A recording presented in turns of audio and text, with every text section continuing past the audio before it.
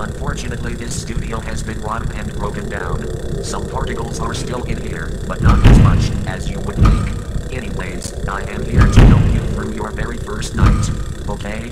First up, you have two doors and a big hallway. It appears that the wire of the power supply has been damaged, but it still functions every day with a bit of power to let you pass any night, as long as you keep the power clean and not chewing it like a damn retard.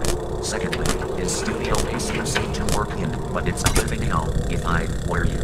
Basically, you are a night watcher in this studio that keeps our robots safe and not getting malfunction that we have to burn them away. We are currently working on a new studio in Germany, a more heavier cleaner, and a fun place to make great AGK movies. Oh sorry, your night instructions, keep the power lit, never escape out of your office. And never, ever make sound like a fucking giant whale. Yeah, I'm sorry to curse at you. But and two other night watchers that were so silly and stupid, the robots killed them in a second. Well, I don't think you would mind.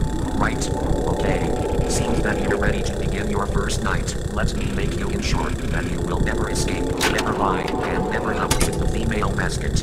You don't have to worry about her yet.